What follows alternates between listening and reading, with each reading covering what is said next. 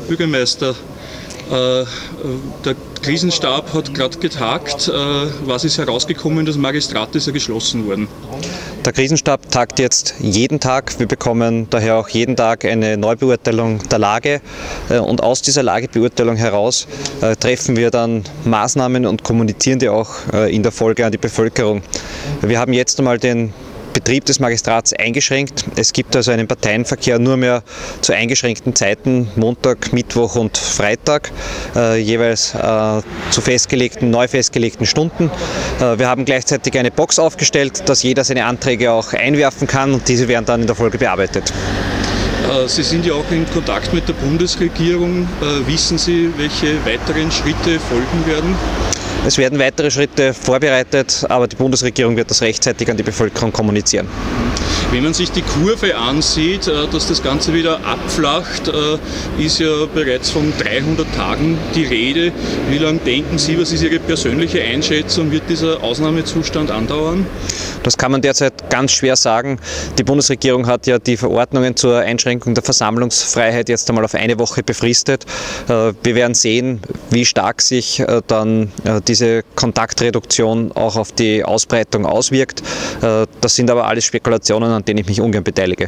Okay. Äh, wird die Stadt Wels auch die, die ansässige Wirtschaft in irgendeiner Weise unterstützen?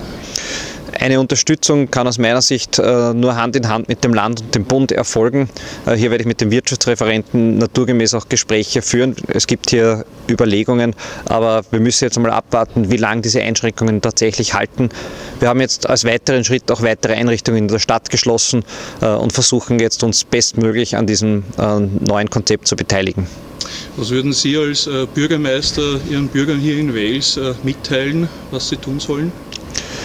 Unbedingt die Anordnungen, die jetzt ohnehin überall schon bekannt sind, zu befolgen. Das heißt, soziale Kontakte so weit als möglich einschränken. Erstens, zweitens regelmäßig äh, die Hände zu waschen und äh, soweit es geht auch zu Hause zu bleiben. Äh, das ist die beste Möglichkeit, um Menschenleben zu retten und darum geht es uns jetzt.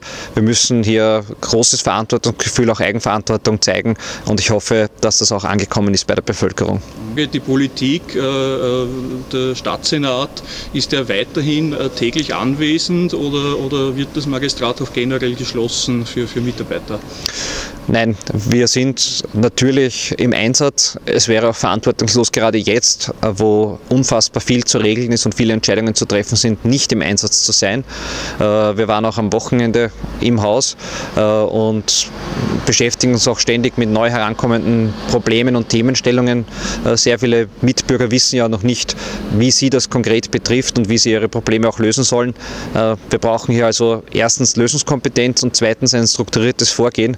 Äh, es bringt nichts, wenn wir jetzt alle in die Phrasen fallen äh, oder ein Brett vor dem Kopf haben, sondern es braucht einen klaren Blick und den versuchen wir zu behalten. Die Stadt Wales bietet ja auch einen Lieferservice für, für Bürger und Bürgerinnen an. Gibt es da bereits schon eine gewaltige Nachfrage? Es gibt eine Nachfrage und wir versuchen dieser Nachfrage auch äh, nachzukommen. Äh, ich halte das für notwendig. Wir dürfen auf äh, die Schwächsten und auf die Senioren sicher nicht vergessen. Wir müssen das Verantwortungsgefühl haben, dass jetzt wir gerade für die da sind, die uns dringend brauchen, um ihre eigene Versorgung sicherzustellen. Äh, und das ist jetzt auch die Priorität in der Stadt Wels. Leben schützen und soweit es möglich jenen helfen, äh, die diese Hilfe benötigen.